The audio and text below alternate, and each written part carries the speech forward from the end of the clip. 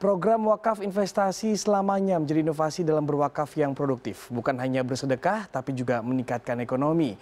Wakaf biasanya berbentuk barang atau bangunan yang biasanya dilakukan oleh orang yang mampu. Namun kini wakaf bisa berupa uang tunai yang produktif.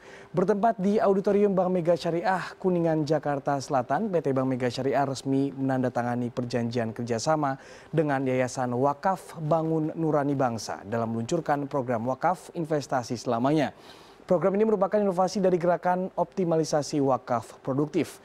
Keunggulan program ini adalah meski deposito atau tabungan telah habis atau nol rupiah, manfaat tunai akan terus diterima oleh ahli waris.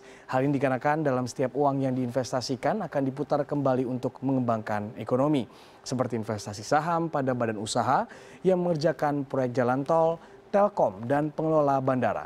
Sementara pembagian hasilnya akan disesuaikan dengan pemberi wakaf untuk dibagikan kepada ahli waris dan kegiatan sosial.